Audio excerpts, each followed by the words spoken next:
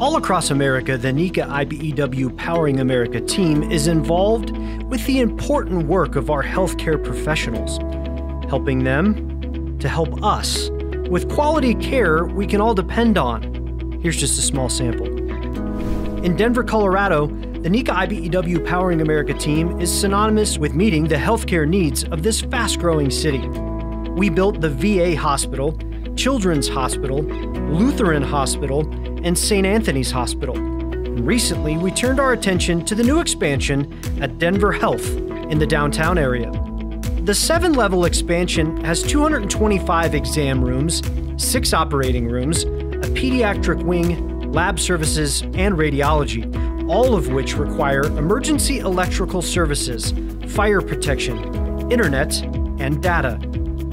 Denver Health is a public community hospital that provides care for around 70,000 kids a year, most whose families are on Medicaid. The expansion stands as a symbol that they too are valued and part of the community. And the Powering America team, with local workers whose families have actually depended on the hospital themselves for care, are proud to have been involved. Children's Mercy Research Institute has opened a new laboratory to help fight pediatric diseases.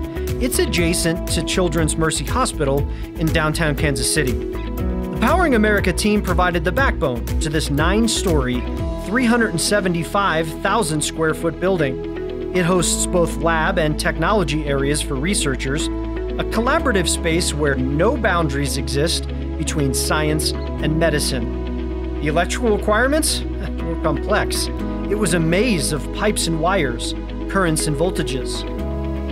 It's critically important that the design and install required protecting the genetic libraries with a series of freezers that must store contents at minus 80 degrees stay online. That's thanks in part to 3 megawatts of generation and 1.5 megawatts of UPS, all which operate 24 7 to protect the research.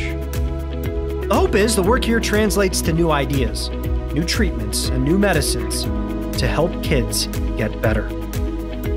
And as day turns to night, the actual DNA patterns of children diagnosed with genetic diseases illuminates the night, reminding everyone of the mission of those that pool their talents inside to give hope to those who need it the most. The NECA IBEW Powering America team recently completed this project in Tucson, Arizona. It's the Banner University Medical Center.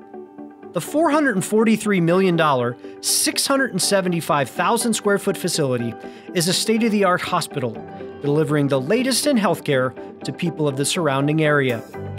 200 patient rooms, new operating and recovery rooms, an intensive care unit, women and infant services, and diagnostic imaging and radiology, just to name a few.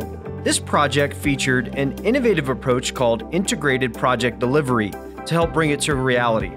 It's a process where the main stakeholders are all brought into the same room at the outset.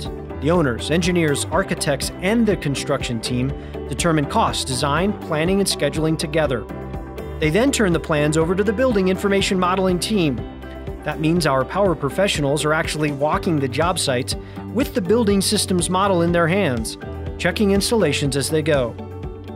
Having the stakeholders on site, all with access to the same information as the work progresses, results in a smooth, streamlined project that builds relationships. And those relationships extend well beyond the Powering America team and those that count on us. The city of Tucson now has a medical center it can count on too to provide quality care to its people for years to come. In Lincoln, Nebraska, the Powering America team completed a job involving the people on the front end of our healthcare system, students studying to obtain entry level healthcare degrees. At Southeast Community College, 16 health science programs moved into the new Health Sciences building, a structure that was fully transformed to provide a simulated learning environment. Besides technologically advanced classrooms, this building also is able to simulate power outages to help students learn to cope with emergency situations. The NECA IBEW message for stakeholders in the healthcare and hospital industry we got this.